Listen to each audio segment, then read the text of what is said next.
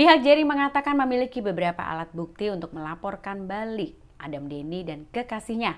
Rencana itu pun diungkap oleh kuasa hukum Jering Sugeng Teguh Santoso. Kuasa hukum Jering pun mengungkapkan pihaknya mengantongi tiga alat bukti yang akan melengkapi laporan tersebut. Namun meski begitu, pihak Jering ingin memikirkan baik-baik dulu soal rencana pelaporan balik tersebut dan tidak ingin terburu-buru untuk mengambil langkah. Beberapa saksi yang dihadirkan pihak terdakwa Jering pada saat sidang semua menyanggah atas tudingan dan dugaan pasal yang mendakwa Jering atas persoalannya dengan Adam Deni. Dari saksi ahli filsafat hukum Petrus Belo, unsur pasal 29 Undang-Undang ITE nomor 11 tahun 2008 yang didakwakan kepada Jering diduga tidak terpenuhi.